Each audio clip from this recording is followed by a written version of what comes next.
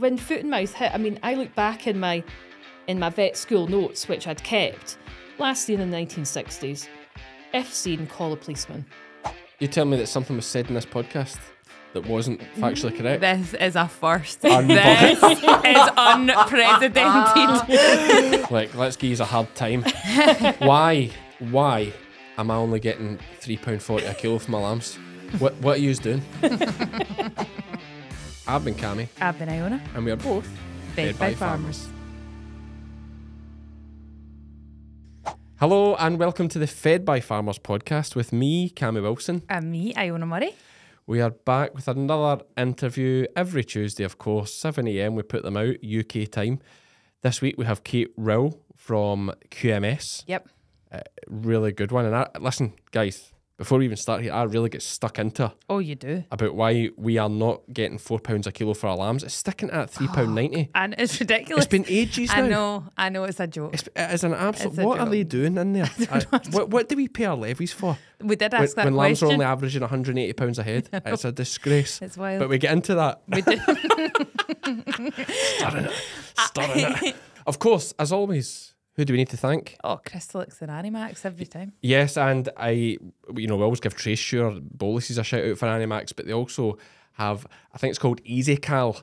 Now it's it's in my latest or one of my most recent YouTube videos. I had a you doing with Twin Lamb. Mm-hmm. Went and got this EasyCal stuff. It's like a little bottle that comes with a applicator on the top, Okay. and you just squeeze it in our mouth rather than injecting the calcium. And apparently, oral calcium, given calcium orally, mm-hmm. Is quite an effective way of doing it. And certainly, the two use that we had done, it got them back up on their feet, so they were down with Twin Lamb, and it, it seems to have done the job. So yeah, do check out. I mean, you're- too busy lambing to be bossing just now, but think about that Easy Cal as an option to have in the shed. Actually, really handy to keep on the bike. Mm-hmm. And I use the bottles for administering uh, my version of Yugo, which is like a ketosol stuff we got from the vet, which is like a high energy glucose drink. Right. So because it's such a handy little dose bottle, Perfect. you can fill the bottle again with that, ready to go. So if you have a you doing, boom, You do. You do. You go. there you go. There you go. Perfect. So yes, thanks very much to them for sponsoring the podcast. More on that a little bit later. We've got some new audio things they've sent us actually just to jazz it up a bit. Yeah. So that Good to mix it up, ready for turnout. What have you been doing this week? we have started lambing. Full swing. Can tell looking at you. I know, I know we should touch on that. I wasn't I wasn't planning on being Iona- filmed today. uh, no, but for anyone, for anyone sitting down, if I had a pound, for anyone sitting down uh, watching it on YouTube, like Iona goes, "Oh, can't believe I'm going on camera like this." You look exactly the same to me. Do I? Yeah, maybe your hair a bit less yeah. brushed, but Oh, I was in the rain. Got caught in the rain this morning. oh yeah, My yeah. face. No, do you not see a difference? Not really. No. Okay. Are you getting a bit windburn? Yeah, I am. Yeah. Rosy. I get really, really rosy cheeks. Okay, we're hiding them well. What? How is lambing going at your end? Um, mixed. I think uh, you always get that wee bit at the start where it just feels like it, all it is is death. Mm-hmm. Um, so we're just powering on through that right now. Um, but aye, That that's exactly where I am just now. is it? Yeah, four triplets, twelve dead lambs, and two dead Jews. That's so that is so destroying. Good It is. Mm. But I do. I say that to Dad at the very beginning and the very end. It's always the same. Yeah. Oh, it's yeah. Especially, I mean, the end. The end almost sometimes it's complacency that gets the better of you because you know you get a hung lamb that you think oh and Yeah. uh, you get caught out with things at the end because you have been at it so long. Mm-hmm. But at the start when you know we're all, do I don't even know if I feel excited this year. I feel nervous. not? I feel quite nervous. But then you're doing things a bit differently this year think- as well. Yeah, I think that's what it is. Yeah. But I know tomorrow I'll get into it and I'll be away Yep. and we'll be vlogging, and the sun won't be shining, but we'll get there. We'll Yeah, get there. we will. But anyway, that's enough about our woes. Let's hear from Kate Rowell. As we said, she is here representing QMS, but also representing herself. We hear a bit about her story. Mm-hmm. She's she was a, a vet, a farm vet. She's a farmer in her own right as well, and she now travels all over the place promoting Scotch produce, Scotch Scotch red meat. I think is Yeah. the So correct term. QMS is Quality Meat Scotland. Yes, Um, um, and she represents that, and and it's interesting to to hear one why we're getting a premium for our lambs and our, our beef Mm-hmm. at the moment, and you know where where she thinks that's heading in the future. So let's roll the VT. You you do it this time. I always do it. okay. now I all I can think about is only saying those words. You put your own spin on it. This is this podcast we started. I'm using all this. no, you're not. Hi, Kate. How are you? Hello, I am fine, thank you. Good. I can't do it. It's just a test. can't Meet, do to it. meet. You'll get it. Just Will wa- I? watch and learn. Kate, how are you? I'm fine, thank you, Cammy. what have you been up to today? Driving. Driving a big adventure, and thanks for taking the time No to come problem here at and, all. and speak to us. Now, we have done a, a nice introduction for you in the future for the start of this podcast, but obviously we want to talk a lot about QMS Mm-hmm. uh, and things surrounding that here on the pod. But we need to know a bit more about you. Can you can you tell us in your own words about yourself? So I am a fifth generation farmer um, from just outside Peebles in the Scottish borders, and uh, I farm there with my husband Ed, and we have four kids, none of whom are there at the moment, but one of them looks like he might come back. Uh, so it is a sheep and cattle farm, typical. It's a we're tenants, we don't own it, and I'm also a vet and chair of QMS. So Oh, wow. a lot going on Busy. yeah, I don't practice as a vet anymore. I'm just, I I'm a qualified vet, but I'm not an in practice vet. So did you practice for a while? yeah, so um, I worked down in County Durham in the north of England for about eight years when I first qualified in a right sort of James Herriot type practice, um, just me and my boss, and that's where I met my husband. Um, and then he moved back up with me to my family farm. So, yeah. Was he a vet as well? No, he was a farmer, still is a farmer, obviously, um, but his dad had had to sell the farm, so he was a farmer without a farm.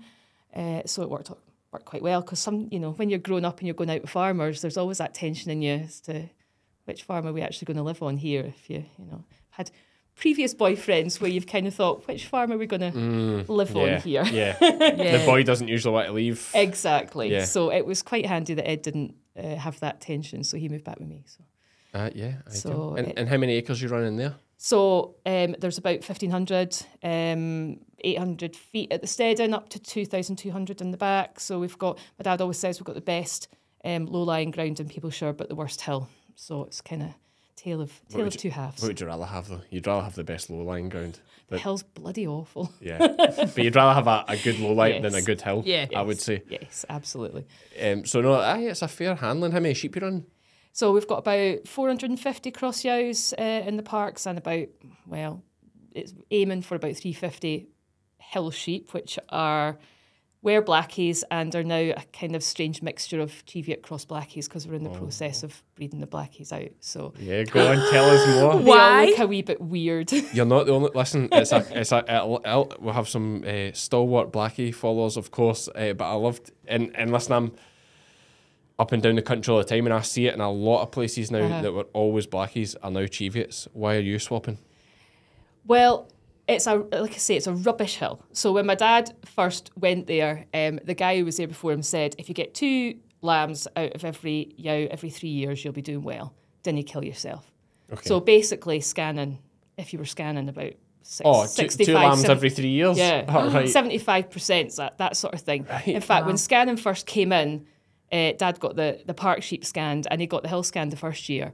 And out of the three hundred, well, actually, I think he had about four hundred and fifty then, and he had two sets of twins. Uh, so Really? he didn't scan again for many many years because it was Yeah, totally Just let pointless. them run. Um, but we were monitor farmers uh, about 10 years ago, and one of the things I wanted to do was find out whether we could make a better job or not. See, Dad had tried in the past. He'd bought, he'd bought some of the, he'd some occasionally gone to the market and bought the best pen of lambs he could, Yep. and taken them home, and they looked really good. And within six weeks of them being back at Hundleshope, they were just rubbish, the same as ours. This is the best pen of blackies. Yeah, yeah. yeah, and they were just rubbish like ours because it's just obviously what the hill can support. You know, it wasn't. Mm-hmm. It just it just can't support fantastic sheep. So when we were monitor farmers, I really wanted to know if we could do any better.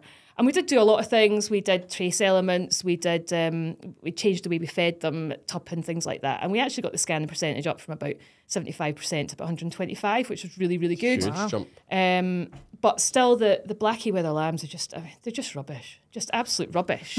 Because they just were making no money at all. They're Yeah. coming off this hill. I mean, it's not their fault. It's just the Yeah, ground. yeah, that you mean your blacky weather lambs Yeah, are it's rubbish? our blacky yeah, weather yeah, lambs. Just better cover that. yeah, yeah, not everybody's, just ours. I don't, it's, a, a lot of folk don't realise the secret power of the blackie world. It's like they'll just cancel us. Like if, if, if we step out of line, the Blackie boys will get together and we're cancelled. So it's like it's like the Illuminati of the sheep world.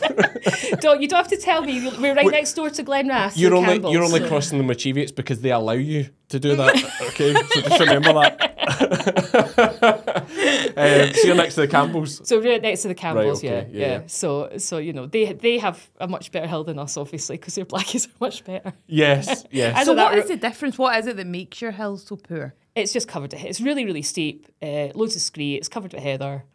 It's just rubbish. But, Yeah. but folk would say that's better for a Blackie than a Cheviot. I don't know. We were just trying. We just thought we'll try something different, and see Yeah, what happens. yeah. So we're about four years into the experiment. So yeah. so there's a lot of really. We had we were scanning the other day, and the scanner's going, "What are these exactly?" Is that ah okay? Because what you're like on the third three quarters Cheviot now. with a bit Aye. of So the the the yow lambs we've or the hogs we've got at the minute are the first three quarter Cheviot ones, and they look like Cheviots. But anything that's half and half just looks like weird. Yeah. They look like But- mules, but not mules. You know? we, we need to get a timer and start getting a timer on this podcast for ho- see how long it takes us to mention a Blackie. each Yes. week.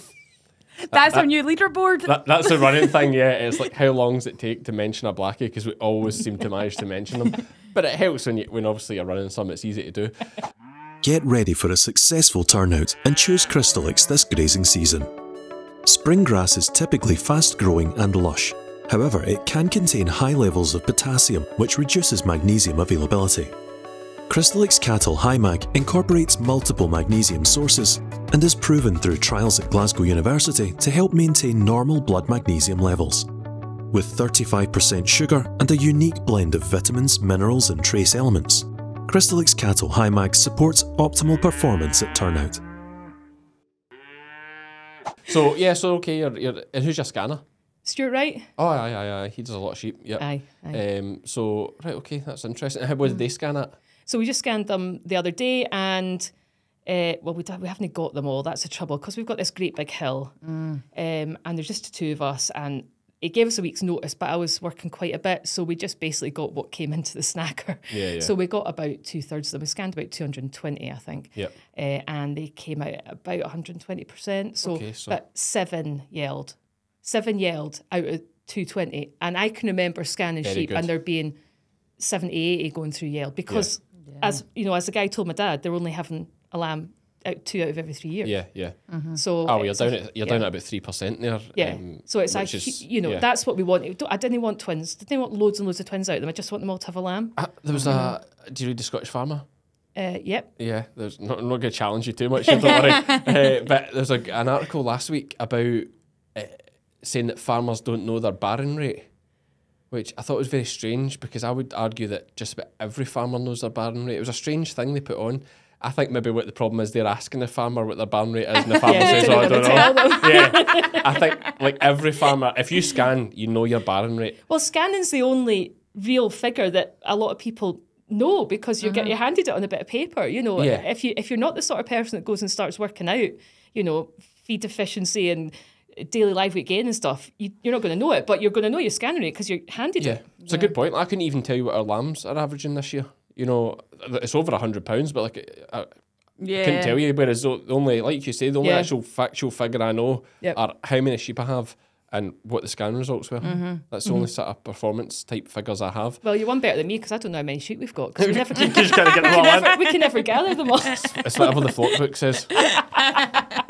There's a um, lot of black loss in Hunnell, so Yes, I can I can imagine. But no, it was the article was interesting. So it mm. said that, that most farmers, I can't remember the percentage, they said don't know their barn rate. As I say, that that that isn't hmm. true.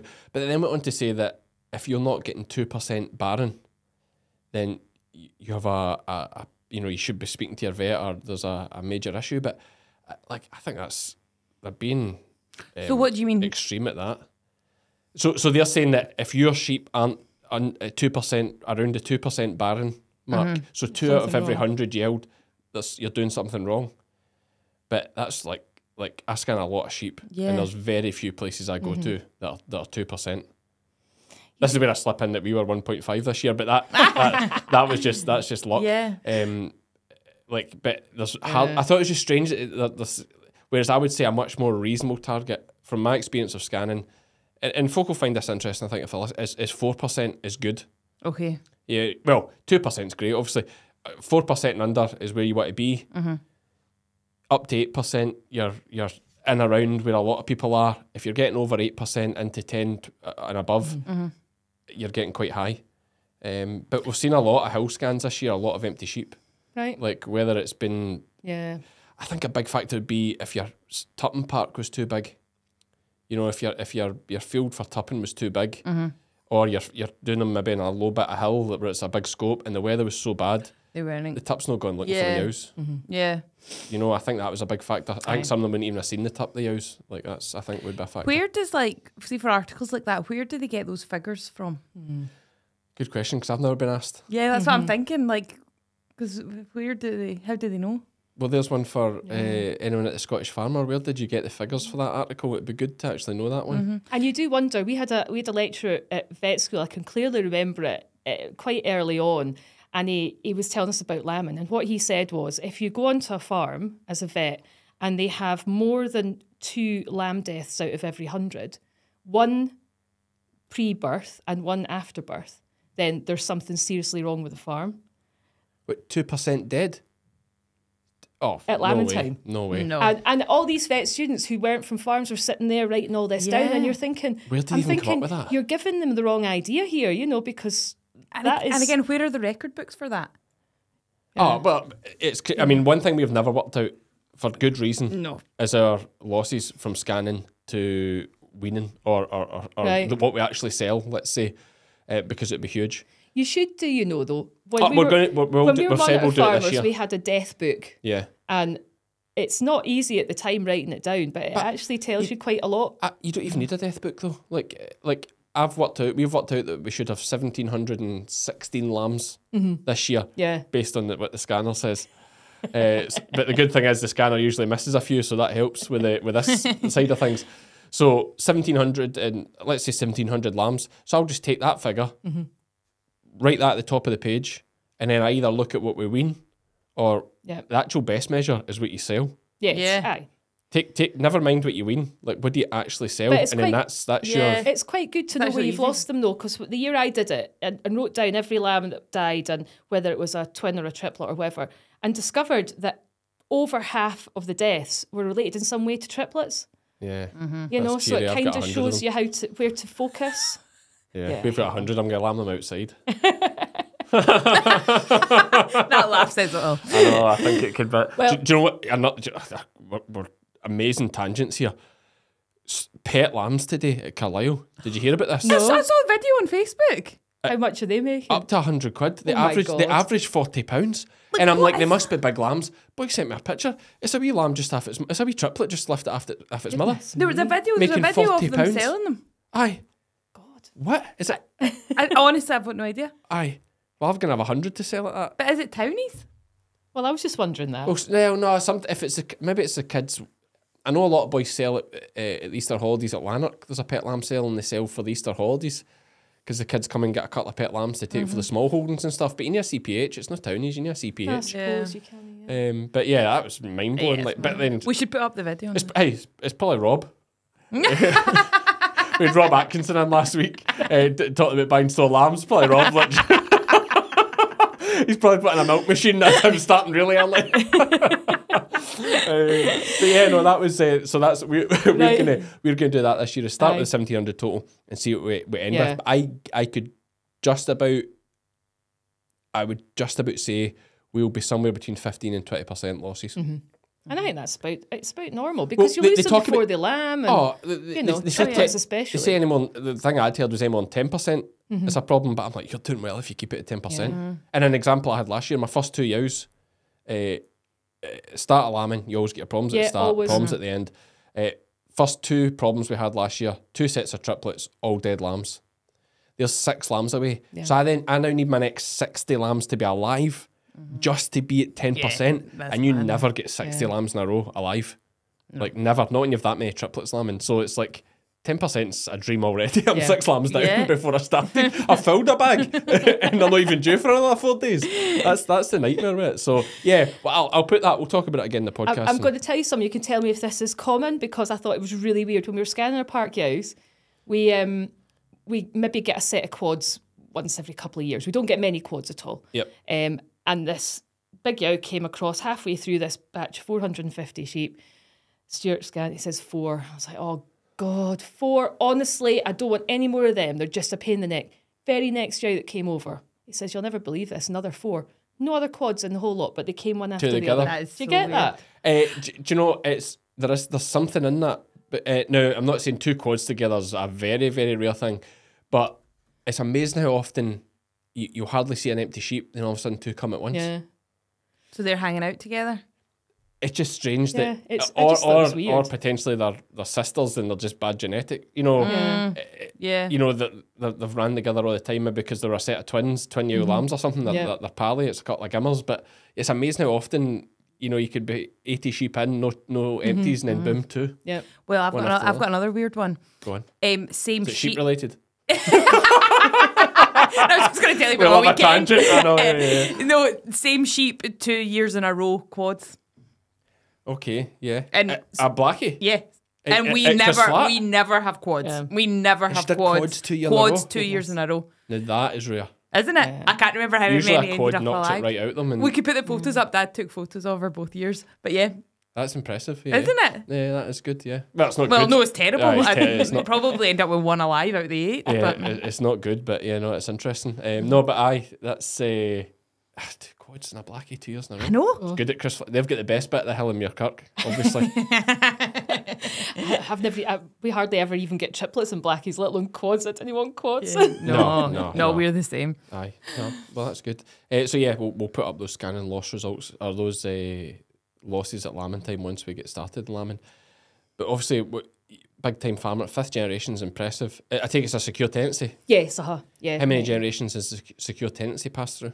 Um, so the farm that I'm on, it was just my dad, but the the sort of home farm, two farms along where my cousin is. Um, so that would, it, it came through my gran actually. So it's come down the female line before, uh, and it was would be her grandfather that first went there. So over 150 years, Right, okay. um, we've been there. So uh, quite rooted, really. Yeah, yeah, and it's uh, you know there's still a lot of secure tenancies out there, and Yeah. they're one of those beautiful things. I don't know if you did you hear the chat we had with Yeah, Margot? yeah. Uh, they're one of those like beautiful, Yeah. beautiful things. Like, and, and and there's so many stories like your own where there's been passed down through so many generations. Mm-hmm. It, it's uh, it's quite incredible. You, you're hoping one of the uh, what have you got boys? Four kids. Uh, I've got a daughter who's uh, nearly 25. She's a trainee solicitor. Twin boys who are 20, one of whom is David, might be the farmer. Um, the other one's doing biology, and my youngest is 19 and he's doing computing. So Okay, it's quite interesting. You can see from very early on if they're going to be and keen what, or not. what what put them off the farming?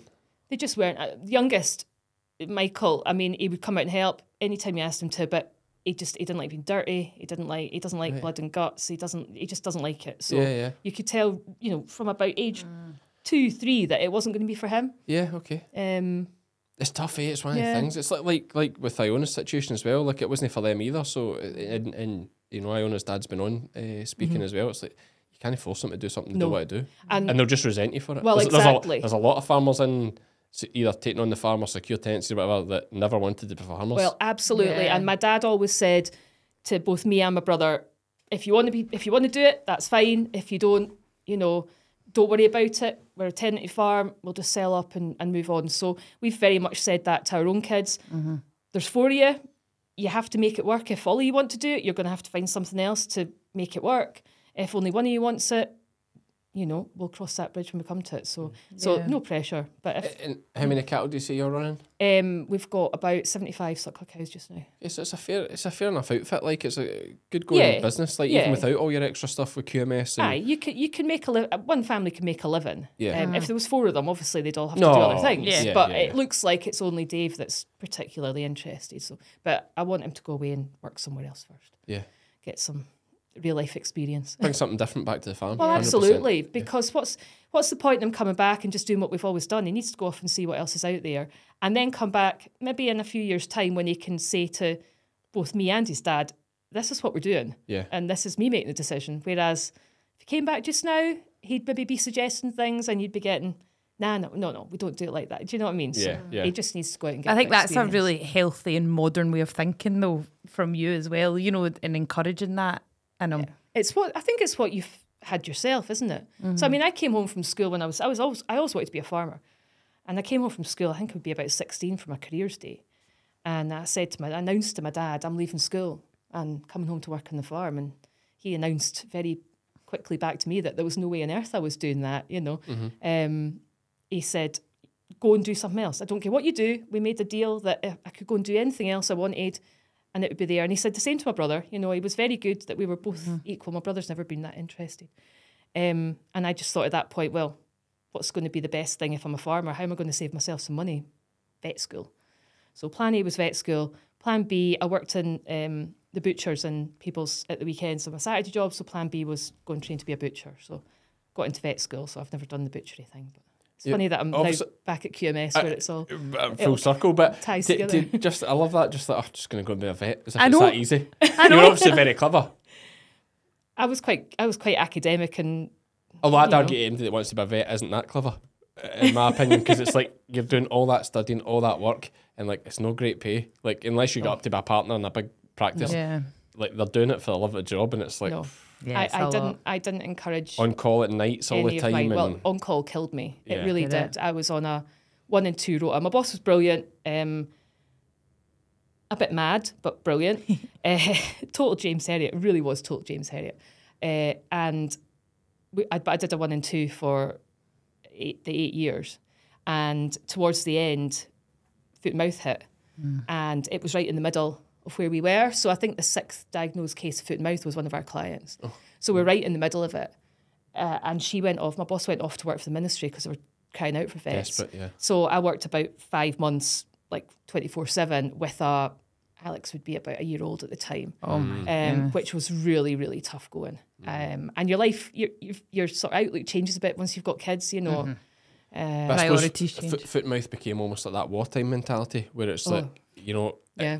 Everybody all hands to the pump. Mm-hmm. It's it's a co- mm-hmm. it's like you have no choice. Like, No. do you know what I mean? It's like, yeah, like- yeah. It's like the Holliers. Um, I knew boys that were involved in the Hollier jo- side of things, like, Mm-hmm. and it was just like all hands to, to the floor, like just mm-hmm. flat out hauling these dead it's the stock to the files. Ah. like it was. Oh. It was it was awful. We were just just a, down from Tow Law. There was a great big pyre up at Tow Law, and you could see the smoke and stuff. I mm. mean, it was just it was just hideous, and it just none of what none of the rules that they had kind of made sense on the ground. And I remember you had to print off movement licenses, and it was all fax machines then. And you had to stand for hours with these fax machines printing off movement licenses so people could move things from one field to another. And oh, it was utter chaos. Yeah. Um, and it just really that was that was the sort of final straw. And, and would you know? I know this isn't your department as such, but the the way they have movement uh, regulations now in terms of moving holding to holding, Mm-hmm. uh, is a lot of that off the back of the foot and mouth. Yeah, I think so. Um, I think there was. I'm trying to remember back then, but I'm, I'm sure there was. You had to report movements back then, but it wasn't quite as. Uh, Because like the if it was system now as- is terrible for somebody like me. Like it's, it's a doddle if you just have a CPH. Yeah. Well, that was part of the problem. I mean, foot and mouth, there'd been a whole load of sheep come out of Longtown, hadn't there? And nobody really knew where they were. Yeah. um, or not. They they didn't know where they were quick enough, which is how it got out of hand. Uh, I can see that though. I, I mean, Mm-hmm. But like for me, like if I've got I've got like awful. 20, 20 holdings Yeah. through the winter, but if I move sheep, so you're allowed for anyone that doesn't know, your CPH is your uh, county parish holding number, which is like just a, a a location code that you have for your farm essentially. But I have my main location code, but unfortunately none of my other bits are within five miles of that main location code. So if I move sheep from a field, one field to the next, I need to do, Mm-hmm. to do fill out a full form and send away and do all this absolute nonsense. Whereas, Yeah. you know, farmers that have all their land in a ring fence farm, Mm-hmm. which is the system is designed for, yeah, and, and they would argue that this, let's say, is for things like foot and mouth, Mm-hmm. is, is the main reason you need to know where all the sheep is. yeah, But the simple solution for me is, in my situation, you put all 20 holding numbers linked to the one. Yeah. Because you can guarantee if, I, if, if I have foot and mouth in one holding, Yeah, you're gonna have it through. Yeah. that- well, they're killing the whole lot. yeah, Yeah. Like, so it's stupid to, to be doing it individually. Mm-hmm. Yeah. Just put them in a pool, and if one bit goes wrong or one bit's near a bit that's went wrong, you may as well wipe out the whole lot because I'm using the same wrapper gates. uh, Mm-hmm. Yeah, I'm using yeah. the same stock trailer. Like, so for me, it's just totally, it's, not, it's not designed. I mean, do you know what? The current system reminds me of when I used to work in the police. Like, it's so old fashioned. The fact we're still writing on a, Oh, a- yeah. a- I a no know. carbon slip bit of mm-hmm. paper and hand it, like, yeah. it's so, but it's money. like computer Yeah. software to Yeah. improve things and streamline it mm-hmm. is millions of pounds mm-hmm. that nobody they don't have. Same with the police. The police like there's so much time wasted by police officers using old, outdated systems because to update those systems like software and that it's 1000000s and millions of pounds that they don't have. Yep.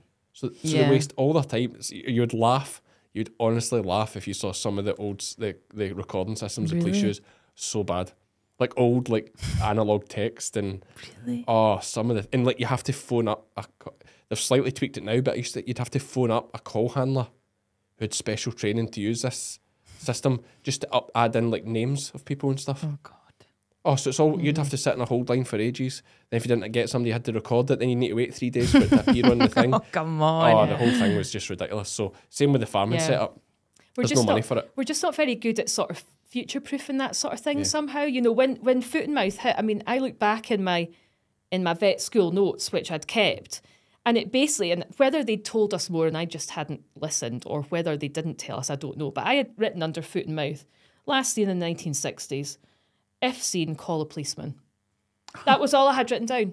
Right. And that's what they taught you at vet school. Well, that's what I'd taken from it. They Yeah, may okay. have tried to tell us other things, and that's what I'd written down. Yeah. But but that was that was all I had because the assumption was, well, we used to have it, but it's gone now. yeah, yeah. You know what I mean? So nobody was ready for it at all. And But it's it gone was just now. Chaos. Well, let's hope so. Touch wood. This blue tongue thing makes you scary, like how things can come across. Like Yeah. and, and milder weather's a big factor. Like these midges uh, seem to be the What is that? That's what's spreading it? well, that's Yeah. what brings it across the channel because they- it's been so bloody mild. They blow You know. across. I was down at the NFU conference in Birmingham a couple of weeks ago, Mm-hmm. and the the farmers down there further south are really really worried about it. Well, it, they're also causing a nightmare with Schmallenberg. Mm-hmm. Twenty, I, I was told twenty percent of flocks down there have Schmallenberg.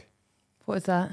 Uh, it's just basically like a uh, it's a type of disease. I was gonna say it's kind of like um, these things you see, like uh, I suppose like you had the Zika virus with humans, where the babies end up being born deformed. It's a kind Yeah. of similar thing with Schmallenberg, but for for animals, ca- uh, cows as well, but uh, really really rife in sheep, and it's like the midges essentially spread it about. God knows how, but well, obviously dirty infected midges somehow, but they're they're nipping at the sheep, and the sheep have deformed lambs, like legs fused together or fused straight, and you can't. I thought the the, midges the worst just- thing is you can't get the bloody lamb out Oh, we- oh, of course. because it fuses. yeah, yeah. It fuses like at a right angle. Yeah. Uh, Listen to me talking about Schmallenberg. I've got the vet here, um, but you, you can stop me if I'm wrong. Um, and you end up you need to like snap. Oh, it's it's, it's, Awful. it's, it's, it's such a big thing. I mean, mentally, it's, it destroys Yeah. farmers Oh, yeah. like because you do so horrible. much bloody work. You know, we, we talk about this is a real crucial time of year for farmers, uh, especially sheep farmers. But there's a lot of guys calving cows as well, and there's a mm. lot more money tied up in cows Yeah. generally than than in sheep. But your things like a bad scan. Folk don't realise at this time of year how much a bad scan can mm-hmm. just sit in a farmer's head. Oh, yeah. Mm-hmm. Can because you do the bad scan, then you're, you're not looking forward to lambing Yeah. Because you're blown it. f- You know, you feel like you're blown it for that year, and really Yeah, a lot 'cause of there's it's no there's no betterment from it. It just is what it is. You just you're have to 12 months till you get a Yeah. chance to do Yeah. it again. Like, and I think folk we probably don't talk about it enough how much a bad scan affects farmers. Mm-hmm. And I think particularly this time of year when when any social stuff starts to wind down a bit, you're not out there speaking to other folks, so you're not hearing No. what And- other people's. You know, you're not hearing that it's not just you. And that's what, yeah, I think that's what another thing that people, we you saying people hold their cards close to their chest with their scanning percentages as well. Whereas, see if it was just a public figure that you could see every year that this is the average. Yeah, I think what I I need, to, I, I'd have thought I need to start doing more videos where I encourage farmers to. I turn up at the farm. What kind of sheep have you got? How many we scanned today? What percentage you mm-hmm. hoping for? Then at the end, that's your percentage. What do you think you did right? What do you think you did wrong? Mm-hmm. And share it out there. And like the response that would get from other farmers, Oh, yeah. because it becomes this like it's it's all right for me because I see them all. You know, Yeah. it's very much it's very much like being a vet or a GP. Yeah. Like you know, a bit like I, I would never. Eh, and Yeah, you're not going to tell anybody I'd never. No, mm. like see absolutely. him at focal glass and Yeah. straight away I'll say, listen, I wouldn't tell him to do your scanning. Yeah. you Yeah. know. And I'll say, oh, it was a good scan. Like Yeah. you, you Yeah. just don't. It's Yeah. you No, really. it's one of those precious things you'd, you'd really offend absolutely. folk. But like it's, I find it really difficult. Like when I go somewhere and it is a bad scan, because I know how crushing it like it Yeah. crush me. Yeah. So like, Yeah. yeah, you are like a GP giving bad Yeah. news. You know, you're like, and Yeah. you know, you, and quite often I'll, mm-hmm. you know, I'll sit and talk it through with them. You know, Yeah. what mm-hmm. tups were you using? Uh, you know, what happened at tupping time, anything specific? You know, fluke, all these kind of things, and It's, So it's hard. Yeah, it's just a crusher. So like, it, you know, if MD is listening and they are, let me tell you, there's plenty of folk Mm-hmm. out there in a similar boat. You're not the only one. And, Yeah. and sharing that does help. I remember back to when we were we were monitor farmers, and I don't know if you remember, particularly if it was bad over here. 2013 was awful. It's the worst lambing I've ever done. It rained all winter. We had, I mean, e- everything was skin and bone because there was just nothing to eat. It was just an absolute nightmare. And we you went through lambing, and it really is the only the only like I love lambing time usually, but I just absolutely hated Yeah, it. n- The no didn't have any milk. You Drop know, the lambs and walk away. yeah, they didn't want them. It was just hideous. And we had a monitor farm meeting um, in the middle of May. And by that point, we kind of got to know each other a bit. And what you find is if you open up, people open up back to Absolutely, you. yep. So we're in this monitor farm meeting, and you know, we're just saying, this is what happened. It was awful.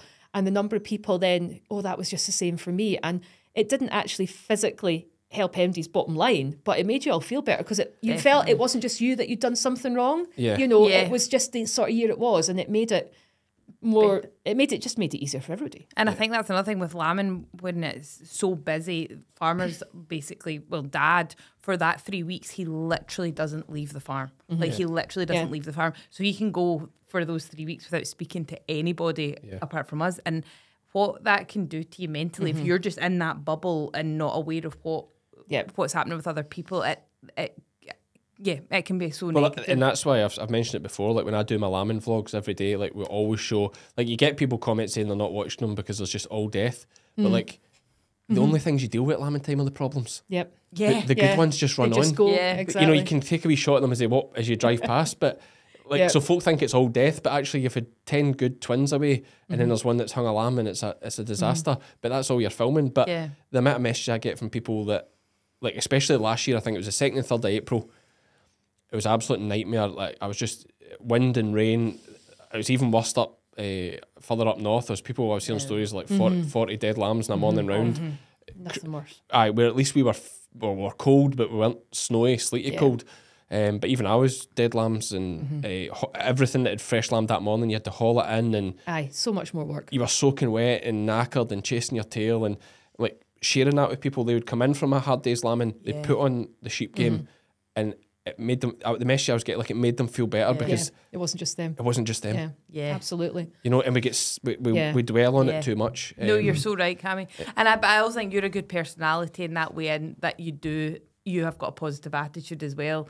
Uh, but I suppose as well, maybe filming helps you with that too, because Oh, it does. I'm, I have to force it. yeah, yeah, Like no, like I, like I, like Inside I, I you'll am, I am very positive anyway Yeah. and laughy. But like, if I, uh, and I've said this before in the podcast, it's like therapy yeah, because I don't just look at the problem and deal with it quietly and miserable and like, oh my god, this is. Yeah, yeah. I have to talk. I have to describe why this has happened, yeah. and that makes me think "Ah, it's not really your fault. It's the, I mean the Yeah. weather. What can Well, you do nine times it? out of ten, it is the That's weather so that's caused true. the problem, yeah, isn't it? Yeah. You know. I mean, sometimes it is my fault. You know, I've missed a lamb that's that's Yeah. hungry in the morning Yeah. and it's near death at night, Mm-hmm. and that's my fault. I've missed it. She's a bad teat. I should have seen it. yeah.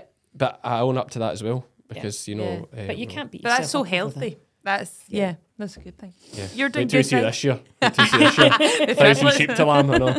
Um, this, these triplets outside. Uh, but what we're going to do, we've, we've had a good chat about sheep farming and, and other things. We want to talk about QMS, so that's Yep. why Yeah. you're here. Well, and we're, yes. we're halfway through already, Oh, so we'll, we'll have a quick word from one of our sponsors and we'll be right back.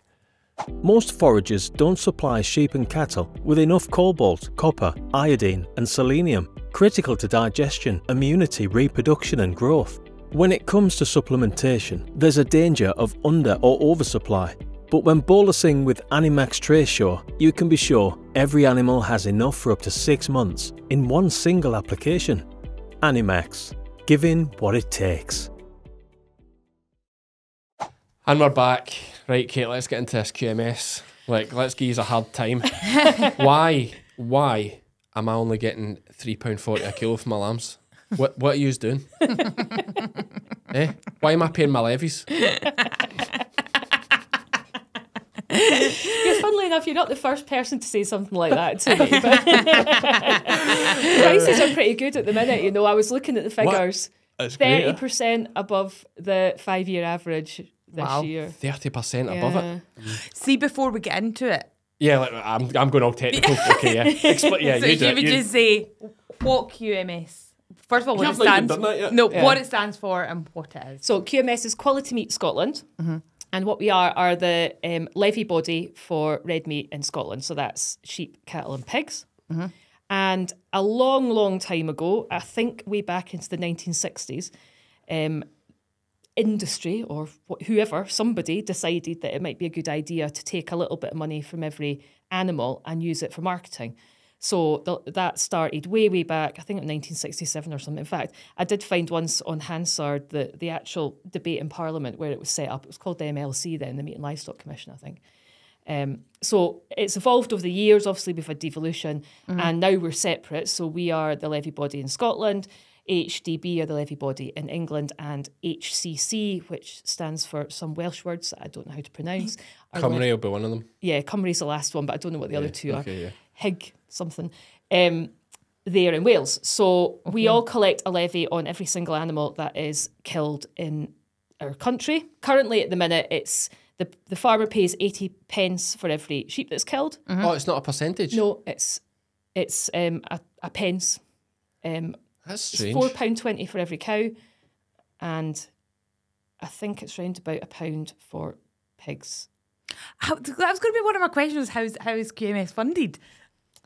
Oh no, I knew that. I Yeah, didn't yeah, know yeah, that. yeah. So so we collect that's that. how Demon's a bit, you know. Aye, All right, okay. So every animal, it, there's a bit paid by the farmer, there's a bit paid by the producer, by the sorry processor, um, Oh, and they, again, they contribute as well. yeah, and again that's historical, way back to when it was set up. Um, farmers contributed some, processors contributed some. And is that done at market level? Uh, so obviously uh, dead weight, but let's talk live weight. Do do they? Does the the producer, the farmer, he gets a levy charge on his line, So the auction mark, yeah. and then the buyer will get a levy charge on his line as well.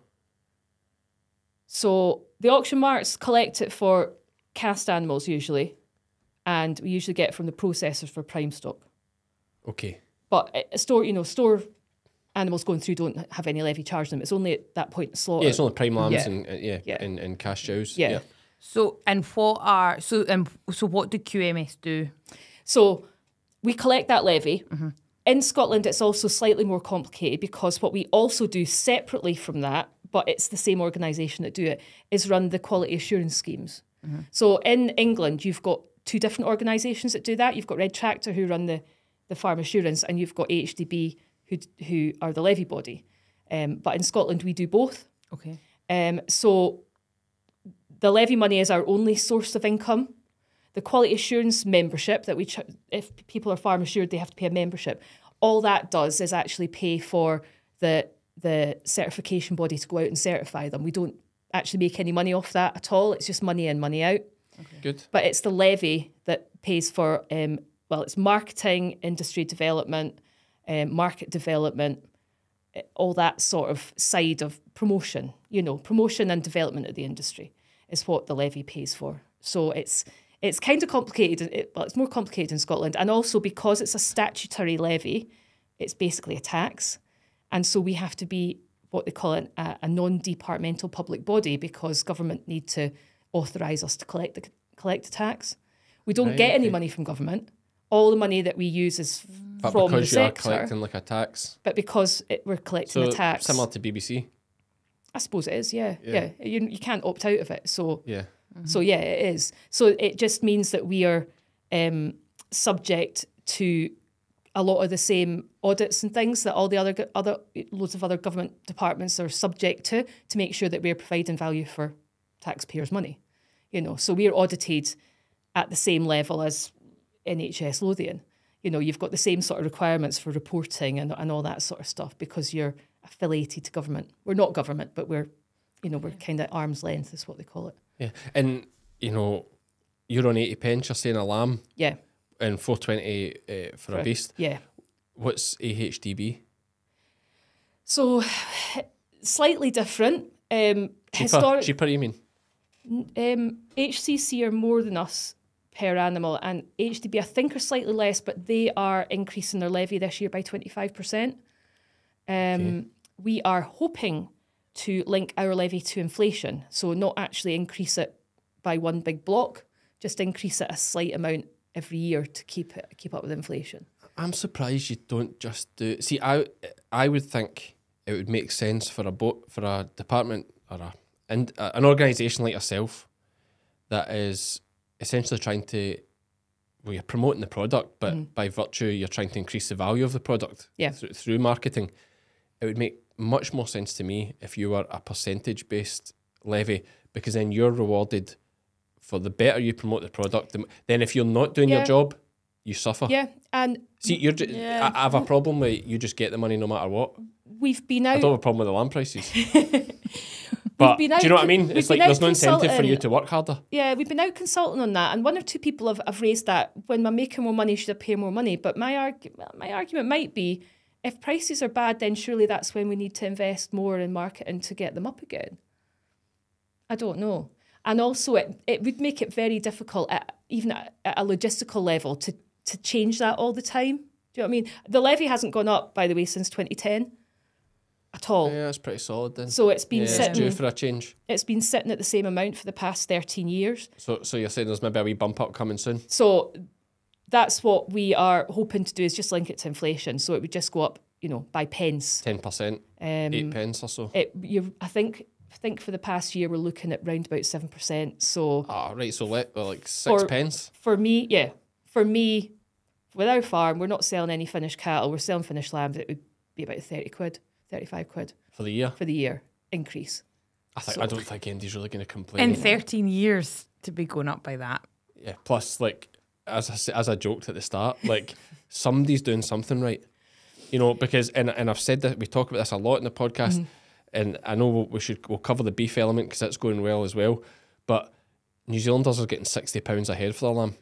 Everybody's on about this New Zealand lamb in the shop Yeah. as if the New Zealanders are are, are Yeah. uh, top trumping us somehow.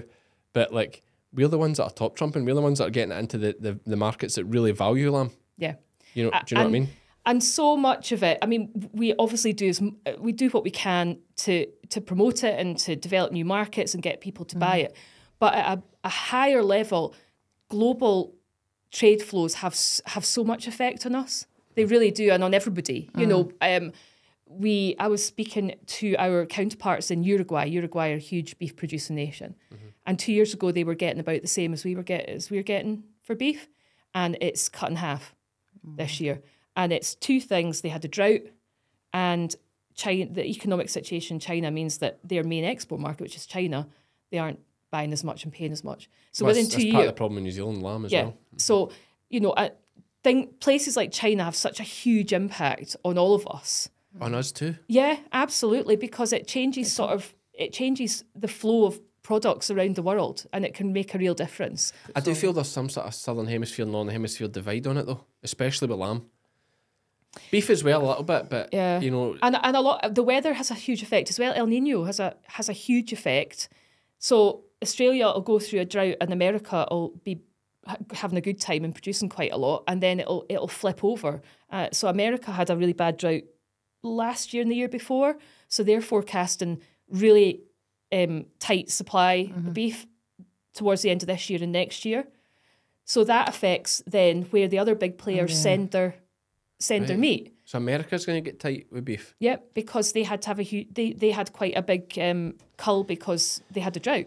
Um, so a lot of the cows went. So they're in the process. They're in that herd rebuilding phase at the minute.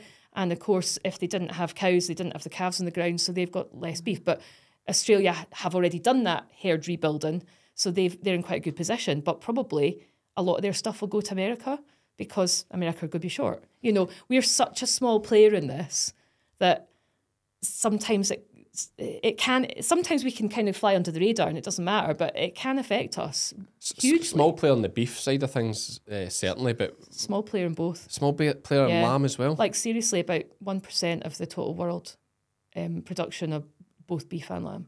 Tiny. right, take, okay, what about Europe?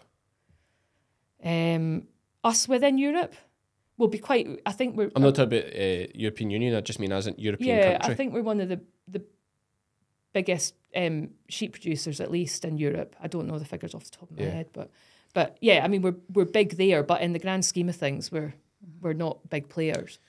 You know, we're not a well, commodity China's the big, the, the the biggest player of all Yeah. in terms of sheep numbers, but then they've they are mainly their own domestic. It's one of the things Yeah. that China don't export is so Yeah. much is is food. Uh, uh, unless Well, someone can no, tell me if I'm wrong, but Oh, really? So- somebody- the They need it dema- demand. I, Yeah. I remember hearing, so we've got one pig processing um, site in, in Scotland at Brechin.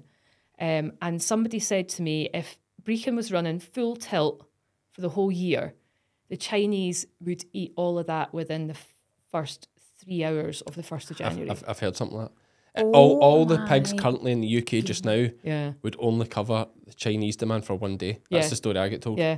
So I mean, all the pigs in the, the UK just now would last one day in Yeah. China. It's oh nuts. my goodness. It's nuts. well, they how, have like how nine, big, nine, twenty, or God, I'm just making up numbers, but like multi-story yeah, multi-story pig, uh, yeah, pig, pig stag, places. Like, whatever. yeah, yeah. It Oh, is, it it's is, mad. it is, and I'd love to go over there and see it actually, because I've heard something about some state-run dairy farm with a uh, hundred thousand Yeah. uh, milking cows and all that. But it's like, but it's like you know, I think we're bad in this country for instantly thinking, oh, it'll be like terrible Awful, conditions. yeah. It's like I've seen a couple of clips in that from a Nuffield thing that it's like. It's like slick. I mean, like the manager isn't Yeah. even a dairy farmer. He's like a genius um, computer programming business right, manager. okay, yeah. Like it'll be everything's numbers cake, and figures Yeah. and efficiency, and it is it is slick. Like we can't do hundred thousand cows without being No, amazing. No, Yeah, yeah. exa- exactly. It'd be a disaster. So like I'd love to go and see that kind Yeah. of things. Like incredible. But but these numbers they're just they're just nuts. These numbers. I think the other thing I read recently, which shocked me, was the two biggest, the, the two countries with the most cows in the world are India Mm. and Brazil. And India and Brazil together have more cows than all the rest of the world put together. Right. I- that shows my knowledge here. I was just speaking. My accountants are just back from India. They get about. uh, do they eat beef in India? No, well, the, uh, Hindus don't eat beef. I don't think. No, do exactly. So, and, I- I don't- I don't know. For milk. Presumably, yeah. I, I, I- it really it shocked me. I couldn't believe it. But that, I, I've known for a while that India have got the most cows in the world. Yeah. Brazil, you'd expect. Yeah. But, uh, is that right? India. Yeah. I suppose it's got the most people as well. And, the, And if they the don't kill them, they're going to have lots of them, aren't they? They're That's a good- sacred. Yeah. Sacred. If ev- so- every- every- there's, there's the most people in the world. If everybody's got one cow for like yeah. sacredness, Yeah. uh, the Yeah, hoose that coo. checks. If everyone's if everyone's got a coo, Exactly. it's going to be the most. oh, well, that, uh, no, that's, uh, yeah, Yeah, that's a good. I also saw a great thing like, talking about you know everybody comes hard on us about um, cattle and the environment and methane and all that, but someone did a great thing about how actually we're not needing to target. They need to stop looking at the UK and having a hard time, giving us a hard time, because you've got countries like India where it takes eight dairy cattle to produce the same, Yeah. to be as efficient as one cow here. Yeah. So they ha- they need eight times the cattle mm-hmm. to produce the same amount That's of milk. interesting. So it's so much more methane and so much more inefficient. So rather than the guy was basically saying the rich countries need to plough money into the poor countries for, for actual change in global mm-hmm. warming and, and things like methane and a- agriculture. It, like they're, they're hammering us about being more efficient and planting trees and all the things they're trying to do to us. Actually, what they need to do is all the elites get together and say, see these countries are the real problem. Let's Let's, power yeah, Yeah. pile money into them. yeah. Um, Yeah. i- i- is is the route, but uh, See with um with lamb prices being so high at the moment, do you think there is danger of us starting to import from the likes of New Zealand and Australia to bring prices down? So we're exporting at the moment. The last quarter last year, we exported twice as much as we imported. Um, Right, okay. You know, so th- there is. I mean, Easter in particular. Easter's always. I always think Easter's really weird. Why are we encouraging people to eat lamb at Easter when worst we, time of year. I know exactly. it's I've always Yeah. thought that was Yeah. weird. I don't know where it's come from, but there are not enough legs. People want legs of lamb, and there are not enough legs available. So sometimes, you know, that's when that's when the imports come in because people want them for specific occasions, and they just aren't here. You know, because we've run out of our hogs by then, and we've not really started a new season yet. So, um, So is that really because that, that's like questions I have is why why are we why are we still importing meat? Like, can we not when we're why are we importing when we're exporting? But is it just to cover certain Bec- times of because the year? that's how that's how trade works. So Well, because it's different cheaper people, as well. But different people eat different things. But why should why is it cheaper? so because it's cheaper at the, at source. Do you know I mean? The lambs are sixty pounds in New Zealand, so of course they can fly them over here. The other big benefit in New Zealand lamb is they're all the same, and supermarkets love that. You know, like all the lambs are the same from not all, but majority of lambs are the same. You go to a market, you know, you go to Stirling. I talk about it a lot because we sell a lot of lambs there. Like there's eighty different breeds coming through all different shapes and sizes and weights. Whereas New, New Zealand, it's like majority of Romneys or also Romney crosses or New Zealand in particular are, are a, a, an export nation. They know how to do it. You know, they've been out there, they've made uh, trade agreements with countries all over the world. They really know how to do it. When I first started this job, somebody explained to me, and I thought it was just such a brilliant explanation. Our sector is exactly the opposite of making cars. So when you're making a car, you're buying lots of little pieces from all over the world, putting them into one thing, and trying to sell that one thing for more than you paid for all the little pieces. With the animals, it's the, it's the exact opposite. You're taking one beast and you're breaking it down into lots of little pieces and you're trying to sell them all over the place for more than you paid for the beast. And that's what New Zealand in particular have kind of pioneered. So somebody told me that an average lamb carcass um, from New Zealand could go to 140 different markets because they'll take each bit and send it to the market that will pay the most for it. So we don't get That's wild. we don't get whole lambs coming over here from New Zealand. Right, okay. You know, you get the bits that we want to eat, yeah. um, and they'll send the other bits in, to other places, and that's how you make money out of that that carcass. So, you know, we we are not um, we don't eat a huge variety of different cuts in this country. We like what we like. Yeah. Um, so there's not enough in our. So we send bits of our lambs that we're not going to eat somewhere else. You know, and we buy in. See, that makes sense to me. Okay. It's called it's it's carcass balance. So I've been in But and tra- trade deals a factor as well. You're, g- I mean, kudos to New Zealand just saying they're an exporting nation. Of course, there's only five million of them. Yeah. And, and, Yeah, they and have to export. them- yeah, they have to. But kudos to us a bit as well because we obviously have better trade deals than they do. Yeah. Because like France, for example, this, Sc- again back yeah. to the Scottish, you'll know more about this. Thirty percent of our lambs go to France. yeah, is that right? Yeah, France is our biggest customer. Yeah. Huge Muslim population. We Yep. talk about all the time. Like that is the key for us. Mm-hmm. We are so close to large Muslim populations, Yep. and even here in the UK, but Europe especially. France massive. Uh, Germany, I think, is the next biggest Mm-hmm. uh, for us for export. Like it's it's, a, it's it's our golden ticket really compared to New Zealand. Are a fair trek. Like Yes. you know, there is countries There's within countries much closer to them. but but in terms of actual you know Muslim countries, we're a lot closer. Yeah. You know, And and the figures are the the HDB figures for for Muslim consumption of lamb. I think they said the average in a week only six percent of UK households will buy lamb, right. but sixty two percent of Muslim households in the UK will buy lamb. So they're buying ten times as much as the average Wow. household. That's incredible. How does that figure, of the six percent, compare to beef? Oh, it's it's way way lower. Um, lamb is it's very much a speciality sort of meat f- for us. Um, in Scotland, we only eat half as much per head as they eat in England, and a third as much as they eat in Wales per head. What's English people eat more lamb than us? English people eat more lamb than us. In Double? Scot- yeah, people in Scotland just just do not eat lamb. I bet you know why that is. Why is that? Because Scottish people are poorer. Absolutely is. Hundred percent. Well, there is an there is an absolute ceiling price on lamb. If What about speak- beef? What about beef? England to Scotland. Oh, I couldn't tell you on beef. I think we'll eat just as much as them. It's only the lamb figures that really stood out to me. You know, I think. I think. I It mean, could- it uh, you're be. talking, but you're dividing that down. You're not just saying they eat double us, but there's ten times as many of them. no, that per That- head. That's per head. per Right, okay. Yeah, Um, and the Welsh eat three times as much. What is that? So lamb it's- as we do. Yeah, Scottish Well, it's people not just a money thing then. they just don't eat as much lamb. It's It- not a money thing. Welsh It's a people culture eat thing. three times as much as Scotland. So how do we change our culture? Well, QMS have been trying for twenty years to try and get more Scottish people to eat lamb, and you know, So what sort of things can QMS like? What sort of things would you implement to try that? So I suppose it, it could be a family thing, couldn't it? You know, I was in a I was in a supermarket a couple of months ago and I got to the checkout with some ingredients and there was a guy there behind the checkout in his, I don't know, fifties. And he's, you know, they do, they chat away to you. What are you making tonight then? And I said, Oh, I can't even remember, ta- lamb tagine or something like that. And he went, Oh, I've never tried lamb. What's it like? And you think, What? and he was in Galashiels. I mean, he wasn't in the middle of Glasgow or anything, you know. And I'm think, you're thinking, how on earth can you get mm. to your mid fifties? And it wasn't that he had anything against it. He just, I never tried lamb. So I think if you've not grown up in your house eating lamb, there you, then you maybe don't know how to cook it, so you don't give it, to just your doesn't kids. come to the so Mm. front. It just doesn't come to the forefront. I think that's where Australia Lamb, with their advertising, now you'll be Yeah. well aware of Australia Lamb. Oh, absolutely. And I are- wish I had their budget. I they are- you. I know, but I know. I, I- yeah, the, the last advert was huge, like Yeah. CGI, Yeah. and it, it's Yeah. incredible.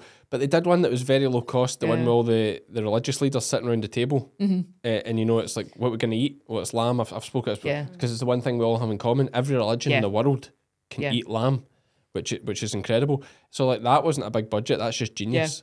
And It is, it's really good marketing. and it's about making it like that's clever, but it's funny as well. yeah. You know? And it's like humor is the way.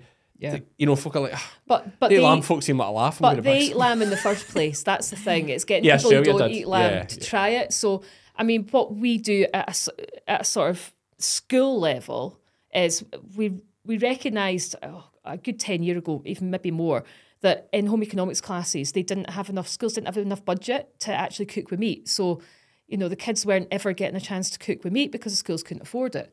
So we have a voucher scheme that the, every secondary school in Scotland can apply to get a voucher to buy meat. If you apply for the voucher, you then they then get paired up with their local butcher. If the local butcher wants to, you know, make more of that relationship, then we help them with it.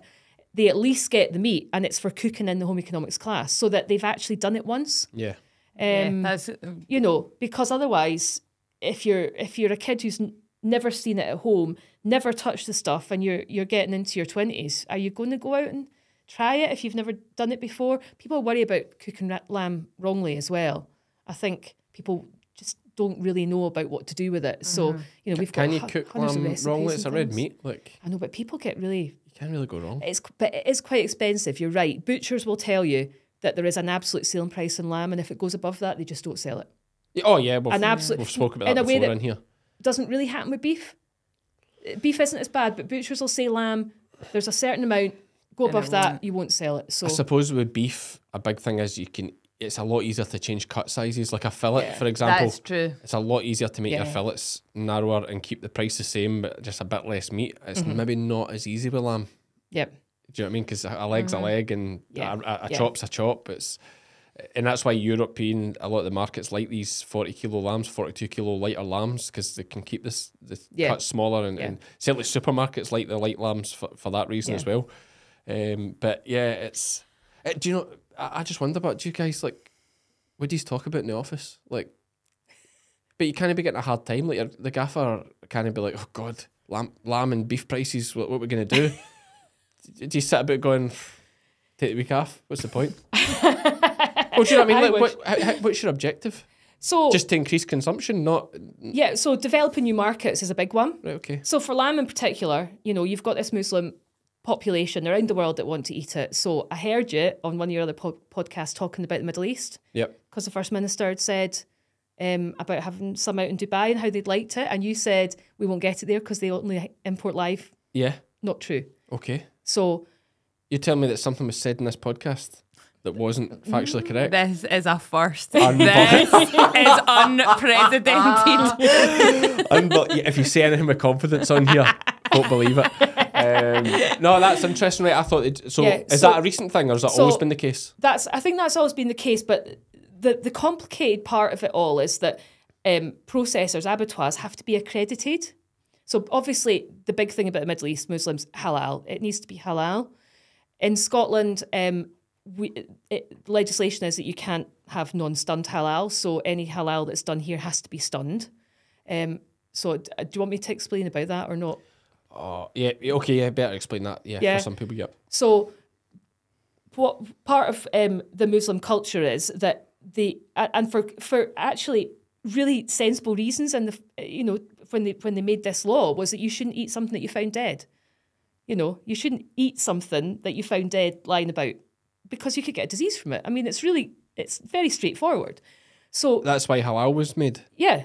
So Okay. they are only part of their religion and their and their laws is they're only allowed to eat an animal that um could that is alive when they alive when they kill it, if that makes any sense. Okay. Yep. So if you um stun an animal with a captive bolt, it can't be revived. Yep. Um if you do it you can do it with sheep with um, electrocution and they could be they could be revived. So therefore that covers the bases. Um, for you the go. Good job you did explain it because I didn't know that. You know, and it actually, I thought stunned was stunned, but it, right, it- okay. it makes really good sense. You know, and uh, however long, you know, 1500 years ago, or whatever it was that these laws were written, to say don't go and eat something that's lying dead because you might get something from it. It's a really good basis for the for the law. But you know, fast forward to today, it's it's about that technical difference between how you stun an animal. So you have to be accredited to do that, and you have to be accredited specially to export it. So each processor has to go through an auditing process. Um, they have to have people come and ex- examine, make sure they're doing it all right. There are other parts involved in, in halal. The, the the stun box has to be a certain um, certain angle. They, there has to be an imam there who's saying a prayer. You know, there's it's not it's not just that, but that's part of it. So very, very recently, just in the past two or three months, the first um, abattoir in Scotland has become accredited to export halal Scotch lamb, stunned halal Scotch lamb, because we're not allowed to do anything else. Um, and that's why we've been out. Uh, so it was us that took that Scotch lamb out to Dubai for the First Minister's dinner. We it's wasn't it was QMS that organised it. Obviously, it, the processor it's their lamb. Well, but we organised getting it out there. The interesting thing was uh, the lamb was from Ayrshire it? as well. Go. Yeah. Yeah. Do we know Can't- where? I can't say any more than that. Why? Uh, I've been told it's top secret. But Why? It, uh, for various reasons. Uh, mainly to raise myste- mysterious. Okay, I you know, like make it. Make raise Yeah. intrigue. I like it. But yeah, I, I know whose lamb it was, uh, and it was it was lamb from Ayrshire. Oh, very good. There we go. Well, and as you heard the First Minister say, the you know they really liked it out there. So that was the very, very first Scotch lamb that went out there because it's the first time we've been able, been able to do that. But since then, um, Tom and our team has been out to a big trade show called Gulf Foods uh, with the processor who's got the accreditation to try and get out there and find more, um, you know, find people who want to to buy it. So that dinner there was there was chefs and things there as well um, there was part members of our team and others there speaking to them about all the benefits of buying Scotch lamb and how good it was and, and, and all that sort of thing. So it's a it's it's literally just the door starting to open, but it could be a huge market if we can get yeah. into um, really really exciting stuff actually. And now that one processor's done it, it might well be that the others see the benefit and they go through because it's you know these pro- these audits are, are pretty onerous. You know they have people there for a week watching everything they're doing, writing it all down. Oh, you know. once you get your foot in the door there and you, the first person's on it, you know, Yeah. It's a it's an impressive market. You sell the yeah. story, Scotch lamb, you know. Every, And we are for, we are fortunate here that Yep.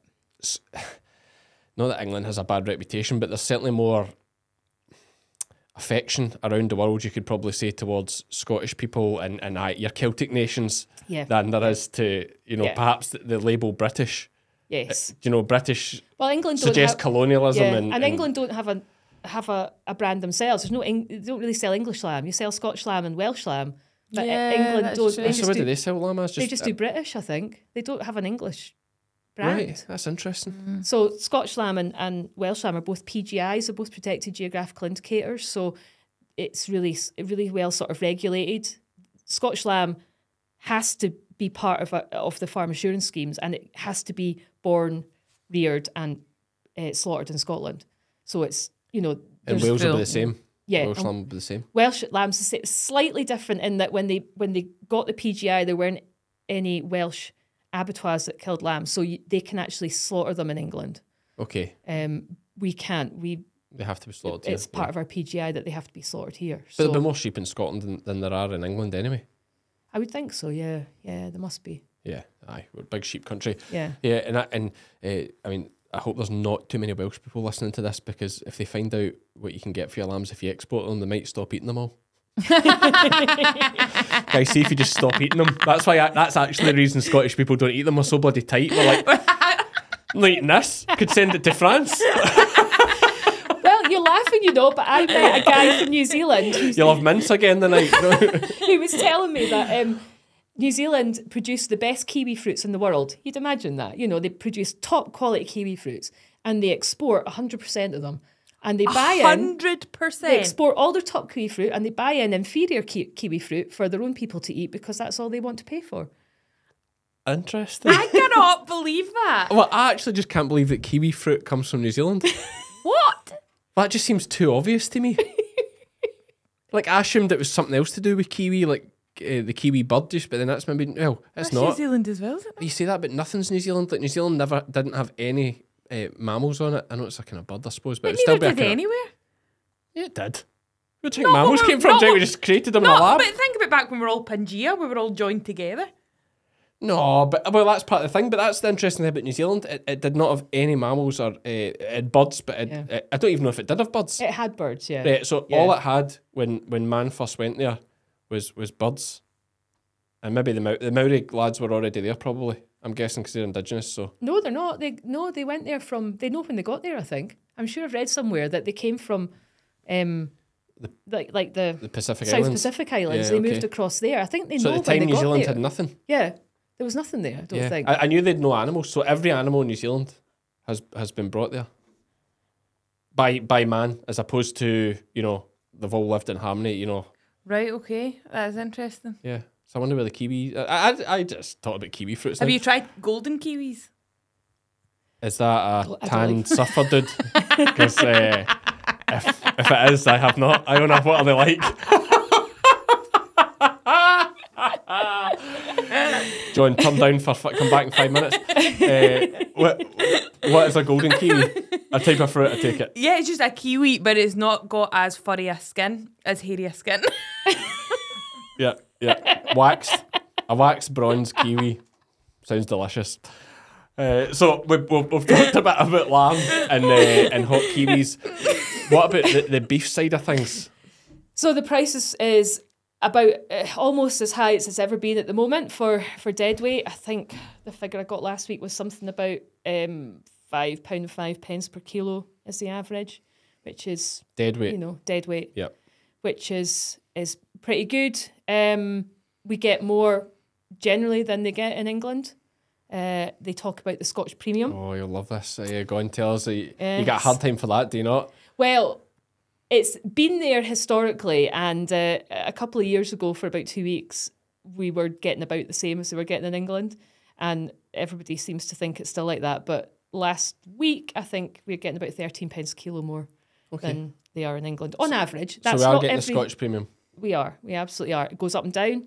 Um, and I was actually looking back historically, and even 20 years ago, it, it varied between five pence a kilo and 20 pence a kilo. It goes up and down depending on supply and demand. The reason it dropped two years ago was because of calving patterns, really, because the English saw how their policy was changing, and a lot of people put off cows.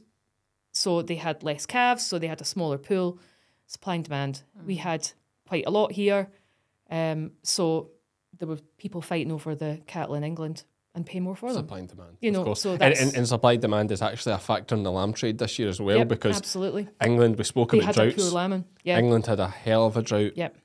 not last year, the year before, Yep. um, which, yeah, the year before. Yeah, their scanning percentages last year were down. Yeah, there was no flush at all for the Yeah. ewes. They were lean as hell. There was no keep for them. Even in the summer, there was no keep. Yeah. And and scanning was a disaster. yeah. Mm-hmm. You know, back 40, 50% a lot of places. And that's a knock on effect. And now what we're seeing is a Schmallenberg Yep. is potentially going to have the same effect into next year. Um, so look, we are there's def- Scotland is definitely getting the lucky side of things this last couple of years in terms of weather. Touchwood. Tu- absolutely touch wood in terms Yeah. of weather, in terms of this bloody Yeah. Schmallenberg and Blue Tongue, the other panic as well if it comes across now. Yeah. So so and it's ironic because we're like famed as the home of the midges. but as I've said before, when I was down in Devon at Christmas, uh, scanning Lizzie's mum's sheep, I was getting eaten alive by midges.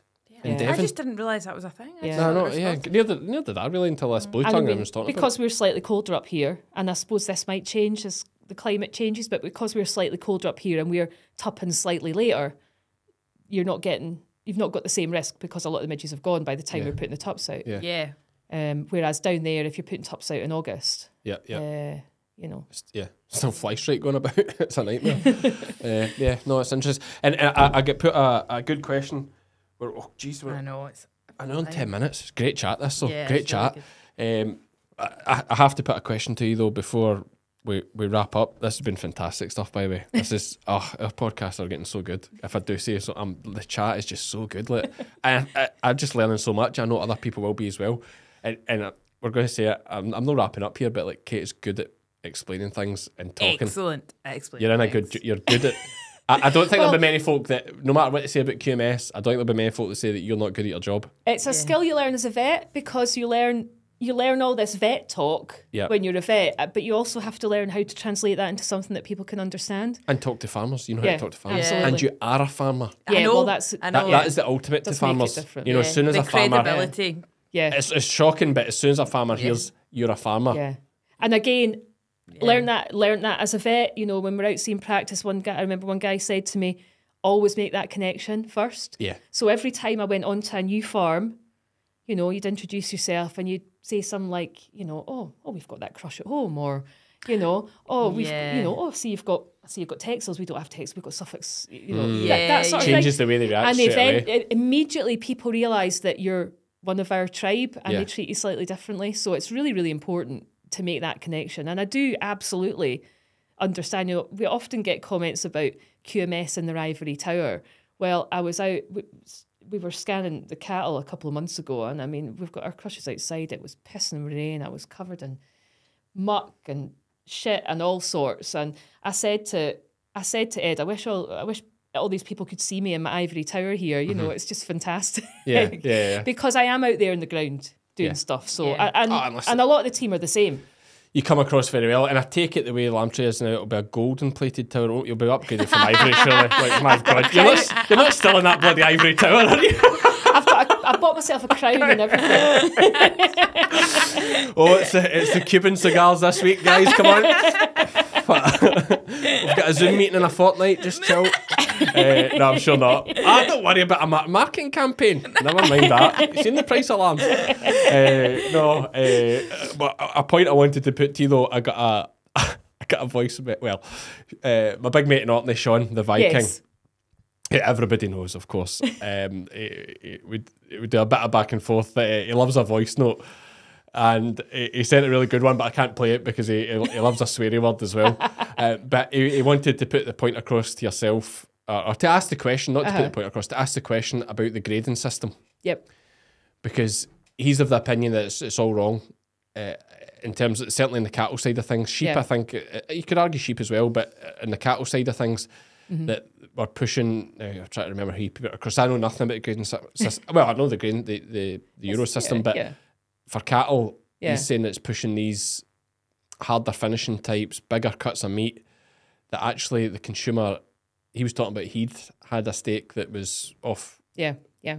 really high graded steak, Yep. but actually a, a steak off a native bred Uh-huh. cattle was far uh, beast was far better. So So why aren't we going for taste? we, and we get this for- a lot. People say the EUROP grid isn't fit for purpose. And it is fit for the purpose it was designed for, and that is not eating quality. So it it, it was designed to to pay on meat yield. And that's what it does. So Yeah. it, it is fit for that purpose. The question is whether that's the purpose we want. So there's been a lot of work done in the past on meat eating quality, and there are other countries that that do it differently from us. Um, they've been doing it for longer than us. But recently, it's kind of come up the agenda again. You know, people have always talked about it, but it's, it's come up the agenda a bit.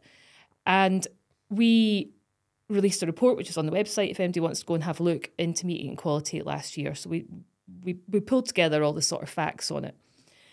So our entire industry development team are now focused on on moving forward with this meat eating quality. And what we've done is we've broken it down into into three sort of parts. There's the stuff you can do right now, the stuff that's a bit more medium term, and the and the longer term stuff. So what the report- identified is that there is actually a lot of stuff that we can be doing on farms as farmers that improve meat eating quality.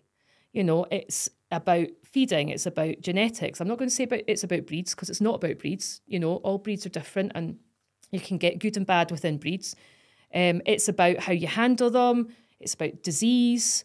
Um, it's about how the the haulier drives to the slaughterhouse. You know, there's loads and loads of different factors. There's not a single silver bullet, but there's lots of different things that we can we can all do better um, to improve the meat eating quality. So uh, we've got a we run a couple of um, workshops. We run a meet the market workshop, which is taken um, people who finish either either lambs or, or cattle to an abattoir. letting them see them live, letting them see them dead, having the the abattoir people talk to them about what's good and what's bad, and you know all this sort of thing. Because you'd be amazed at how many farmers haven't actually been in a, an abattoir. And, Yeah, you know. yeah. So it's sort of showing them that stuff. We've also identified that there's a, particularly in cattle, there's a real lack of communication along the supply chain. So often, I mean, we're store producers. We don't have many conversations with the people, who, finishers who are buying our cattle. There's a real lack of communication there. And if, if they're wanting a certain kind of cattle produced for them, the finishers, they have to tell us when we're out buying a new bull because we need to buy what suits them. So there's we do meet the finisher as well. So that's sort of bridging that gap there's then the more sort of medium term bit, which is the kind of sexier bit that everybody talks about, and that's to try and find a a cheap, a easy, and quick way of quantifying the quality of meat in a processor. So what it what it would probably consist of would be some sort of shear test to to see what the tenderness was, and or some sort of marbling. Um, in America, what they do is they look visually look at each um, carcass to to grade it on its marbling. You know, so there would be something like that. It's got to be quick and easy because if it eh, the processors are working in such tight margins and on such quick lines that they don't want to be stopping the line for to do things. So it's got to fit in with what they do, or else they just won't do it. So that's the sort of medium term. You're talking maybe in the next, hopefully in the next three or four years, coming up with something that could be slotted into processors. But again, we can't mandate any of this. This depends on them taking it up, you know. And then the more longer term is to have a conversation about the EUROP grid and how it evolves. And that's not just about us because it's it's UK wide. So that would be something that we'd have to discuss as a as a whole UK nation. And who knows where we're going to be? But if we move away from that and we're no longer longer aligned with Europe, who knows politically how that would go down? You know, the Scottish government affects has our exports. well, it could do. And also, Scottish Government at the minute have said they want to align with Europe as much as possible because their ambition is to become independent and go back into Europe. So, you know, you've got a lot of competing issues there. Um, I don't think it's a bad thing keeping Europe on side, like, uh, and even letting Europe. we could do with a veterinary agreement with Europe. It would save such a lot of hassle. It would save such a lot of hassle In, in, in terms of what? Uh, Oh, Oh, export certificates. is that right? The amount of money, extra money that's had to be spent since we left for vets to sign export certificates so that meat can go across the channel. Really? is unbelievable. A billions, billions and billions of pounds. And I mean, a lot of our a lot of our smaller um, processors who used to export have stopped because they just can't do it. Because Because they're having to pay a vet full time. yeah, well, the bigger ones they can have somebody who does that. Aye, full time. That's their job. Yeah. Not not necessarily the vet, but they organise it all and and they can fill a lorry and it's all their stuff and there's the risk is decreased. They used to do something called groupage for smaller consignments. So, you know, you'd maybe take you'd have a lorry that would take meat from three or four different uh-huh. processors.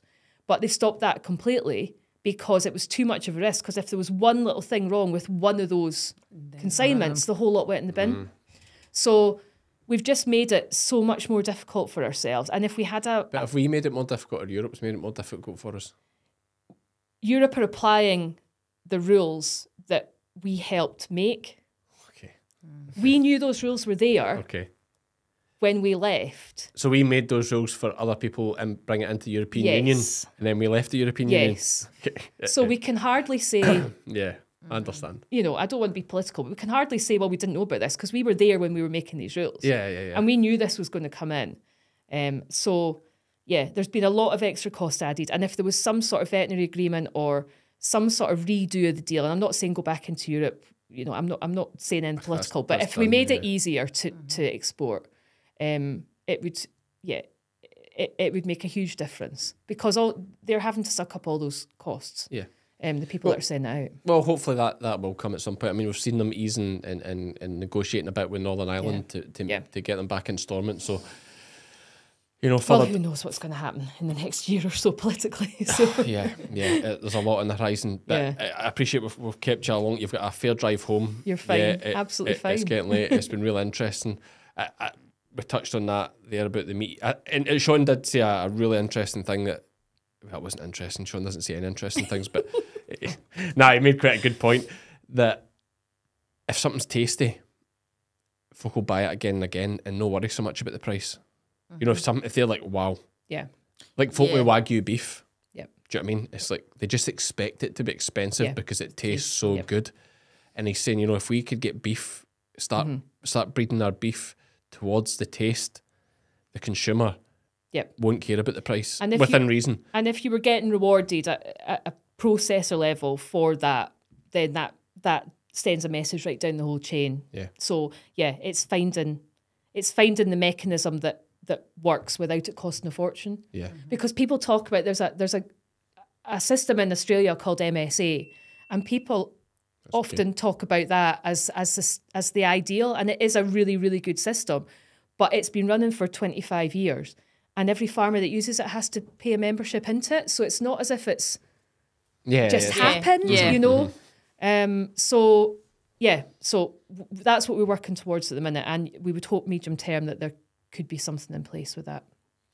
Interesting. Lots in the pipeline, and uh, you know, you guys, uh, a joke, but he's in a good spot now because you know things are going well. Like the export markets that you've that we have Yeah. are strong. Final final thing, definitely, it's just clicked to me. We'll say about England eating so much more lamb than Scotland. Again, it comes back to the Muslim population. Yep, probably. Of course, I've just I don't know dawned where Wales comes into that though. But, but, but, I don't no, know. uh, Wales will just be. I think Wales will just They be just a Welsh eating. historically yeah. eat a I mean, lot lamb, yeah. Wales and, and, Yeah. and sheep farming are so tightly linked. You know, Yeah. you'd argue Scotch beef comes to folks' minds before Yes. Scotch lamb, Yes, whereas Welsh lamb, I would yeah. I would say, and is, yeah. is is the forefront. It's their and and we were over we were over in Japan before COVID, and it was to to because we were allowed back in after BSE. It was twenty five years British beef had not been in Japan, and we went over there, and there were importers there who were wanting Scotch beef. They they knew Scotch beef was really high quality. They were coming looking for it. You know, British was good, but they wanted Scotch beef. brilliant. So, Good way know. to end it. Okay, that's honestly been a, a fantastic chat. We, we could sit here for two hours. Like, we're, we're, we're, I know. way, way over the hour mark. Uh, it's been an absolutely fantastic chat. Thanks for coming across to see us. And uh, yeah, look forward to what QMS can do for us in the future. Thank you very much for having me. And we're done for another weekly interview. How was that for you, Iona? I really, really enjoyed it. I felt like I g- learned so much and I went into it not because I didn't know Kate, I didn't know any background, I didn't really know what route it was going to take, but I came away feeling I'd learned a lot about her as a person, interesting story, and also about the meat industry.